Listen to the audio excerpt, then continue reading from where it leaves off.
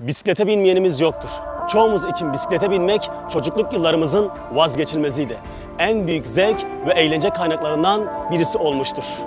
İki tekerlek üzerindesinizdir. Pedallar sayesinde hızlı veya yavaş hareket edersiniz.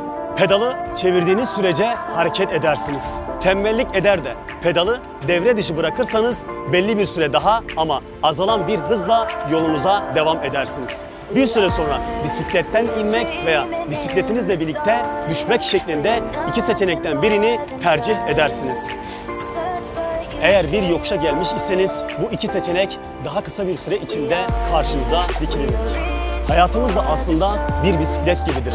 Dengeli bir hayat için hayat pedallarına ölçülü ve dengeli bir gayretle çalışmaya, çabalamaya ihtiyaç vardır. Zorluklarla mücadeleye sabır ve metanetle sıkıntılara karşı koymaya ihtiyaç vardır. Hayatımızdaki iniş çıkışlar yani imtihanlar büyümeye, gelişmeye ve terakkiyata sebep olur.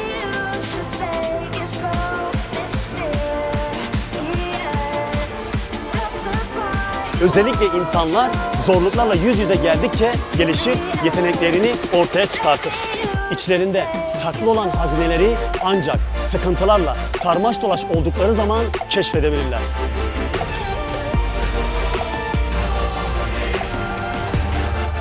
Evet, hayatında bazen dönem dönem imtihanlar ve sıkıntılar ile bazen de günahlar ve hatalar ile karşı karşıya kalırsın. İşte tam da bu anlarda içinden isyan etmek isteği doğmaya başlar.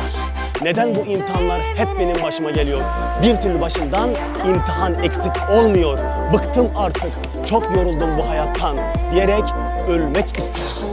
Tabi bir yandan da yapmış olduğun günahlardan ve hatalardan dolayı aklına ümitsizlik vesveseleri gelmeye başlıyor. Bir türlü bu günahlardan kurtulamıyorum. Anladım artık. Benden adam olmaz diyerek namaz kılmak, tesettürden çıkmak ve diğer ibadetlerden uzaklaşmak istiyorsun. En sonunda nefsinle mücadele etmeyi bırakarak Allah'tan uzaklaşıyorsun. Bisiklet sürerken pedal çevirmeyi bırakıp düşmen gibi kendini dipsiz kuyulara atıyorsun. Günahların içine dalarak pes etmeyi göze alıyorsun. Hayır, hayır. Kendini dipsiz kuyulara atarak ümitsizliğe düşemezsin. Pes edip mücadeleyi bırakamazsın. Çünkü sen insansın.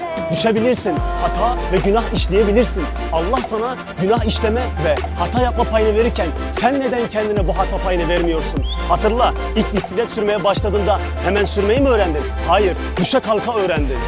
Aynen öyle de. Sen de günah işlediğinde, hata yaptığında hemen kendini salıverme. Ümitsizliğe düşme. O an dur ve düşün. Kendini analiz et. Ne oldu da ben bu hatalara düştüm diyerek hatalarının farkına var. Tövbe et. Yanlışlarını Allah'a itiraf et.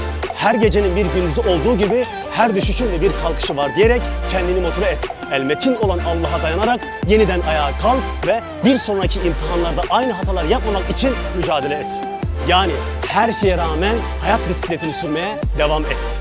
Evet, bisiklet sürmeyi öğrendikten sonra bizi bekleyen ikinci ama daha tehlikeli olan bir hastalık. İnsan bisiklet sürmeyi öğrendikten sonra artık rahat olmaya başlar. Ben zaten bisiklet sürmeyi biliyorum diyerek bisiklet ile hareket yapmaya başlar. Ellerini direksiyondan bırakmaya başlar, ayaklarını pedaldan çeker, kolunu açarak etrafını seyretmeye başlar. Ama o an önüne çıkan engeli fark edemez. Hayat pedalını ne olursa olsun daima çevirmeye devam ettiğin sürece güzel günler senin olacak.